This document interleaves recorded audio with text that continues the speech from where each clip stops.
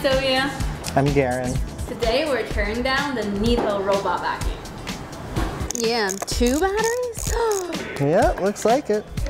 two batteries side by side. Mm-hmm. But seems smaller than Roomba's, doesn't it? 64, and this one 3,000.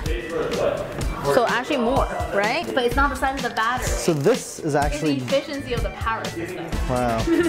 To get it It in. has the one brush as opposed to the two brush. Right, so the other one is like a big counter spin to like suck up the dust, right? So this one is just one is probably just not as effective. So this is not really, this is not meant to be user replaceable, I feel like. 'cause- Looks like it. Yeah, because the, the spring is really hard to get off. At least there's connectors, you know, there's no...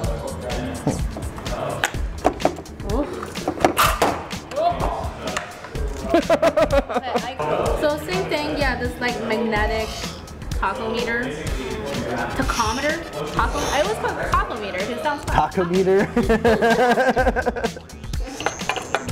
yep. Like they tore down a Roomba. just get the same motor because it's working for them. Hey, look at it. There's no snaps. Nothing. It's like very. Mm, yeah, I would say either Oh, sorry. ultrasonic welded or glued. yeah. Wow, that's really. Yeah, so it backs up and Compact. charges from there. Mm-hmm. Yeah. So why does it go around? Good question. straight down. Does it just come off? Yeah. That's easy. Literally, if you just shake this thing, half the parts fall out. Yeah, actually.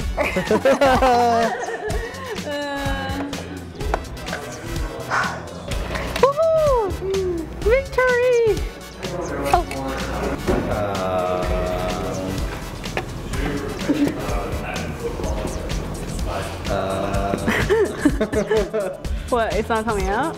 Or They have a screw that's impossible to get to. what? How did they assemble it? They didn't really. It's all loose. How did they let that slide? As for fail. That's crazy. They have a screw that you can't get access to. And it's not tightened and the head's stripped out because you can't actually get to it. You have to come in like this.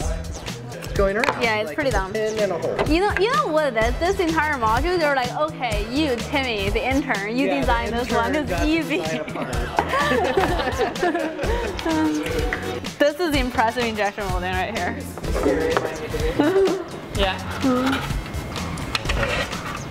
I don't know if you guys have any pets though, but my dog destroys my vacuum cleaner. Really? Like literally when I when I like when I'm vacuuming all over, he just like eats it. So maybe it's like supposed to be dog proof. Like, Maybe, you're right. good luck Romeo trying to like eat this thing, you know? Pitbull proof? That's what Pitbull, that pitbull proof. Certified pitbull proof.